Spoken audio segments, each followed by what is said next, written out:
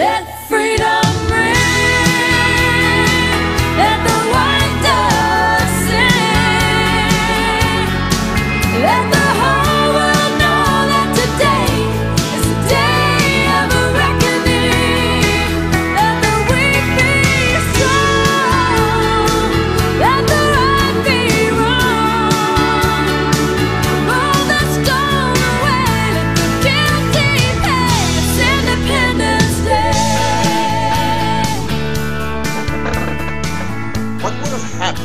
1789 or 1942 or 9-11 if a top government official stepped in front of the people and publicly proclaimed America was a nation of cowards?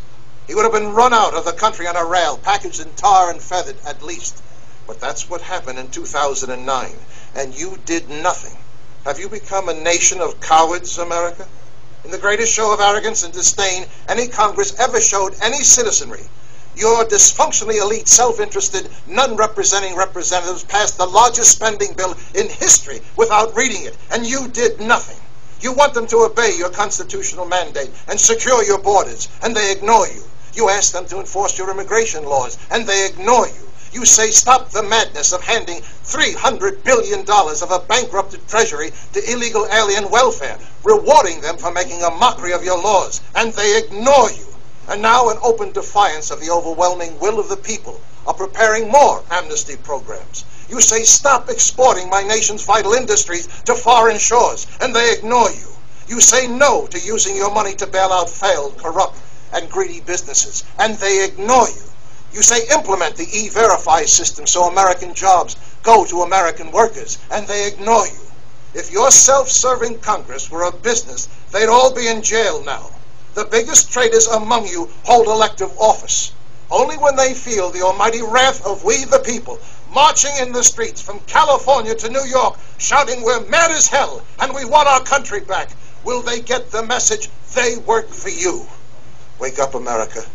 While you were playing with the toys of your consumer wealth, you lost much more than your bloated economy of living beyond your means. You lost your representative democracy. Your servants have become your masters. Taxation without representation is tyranny. But still, you look to government to solve problems they created in the first place. You're sucking at the hind tit of a dead cow. Why isn't there a three million person We the People march on Washington? A nationwide taxpayers revolt. Thousands of cars and trucks surrounding your nation's capital, bringing your failed government to a standstill. Democracy doesn't repress power, it unleashes it to we the people. Take it now. They dictated an economic salvation plan to you. Now it's time to stick it to them with a we the people stimulus package. Require all laws that apply to the rest of the country to equally apply to Congress. Start by first removing the elite privileges that place your non-representing representatives above you, not with you. Require all laws that apply to the rest of the country to equally apply to Congress. Repeal Congress's right to vote for their own raises. Balance the federal budget. Force your legislators to do what you now have to do. Live within your means. If you don't, you're committing national suicide. Make Congress pay into the Social Security system. They make laws for it. Now they might be interested in thinking twice before they allow 20 million illegal aliens to reap the benefits of a retirement program the legal citizens paid into all their lives. Long-term power corrupts. Limit Congress from serving more than two terms. That's all you give your president. Let them search for their own 401k plan instead of the gross unfairness of awarding them their full salary for the rest of their lives after only serving one term. Stop paying for lawmakers' insurance premiums. After all, they're only part-time employees. They might pass some laws on the insurance companies if they had to find one themselves. Throw out of office every congressman and woman who didn't bother to read the biggest spending bill in history before voting for it. With the money you save from all of the above, put it into increased salary and benefits for the men and women of the armed forces. They never fail you. Start no war unless you intend to win it.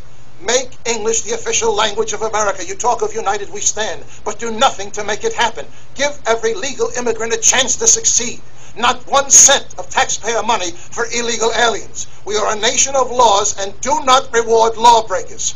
Abolish the Electoral College and put the election of the president back in the hands of we the people. Bring back universal service. Two years in the military or two years in community involvement. Ensure your future. Rekindle the spirit of America. Service, honor, and duty to country. Give your young people a chance to understand they are entitled to nothing they don't earn. Wake up, America. You've allowed yourselves to become little more than cowering spectators, watching the nation your grandparents built, the richest, most powerful, most self-sufficient republic in history, with the highest standard of living any nation ever achieved. Now in the middle of the greatest unprecedented decline in modern history. The world's only superpower can't defend its borders, balance its budget, win its wars, manufacture its own products, or protect its own currency. Your total government debt obligation in the next several years is approaching the gross domestic product of the entire world. You've diminished the future of your children, grandchildren, and 10 more generations of Americans. On September 11, 2001, 300 million Americans put aside what divided them and rallied around what united them.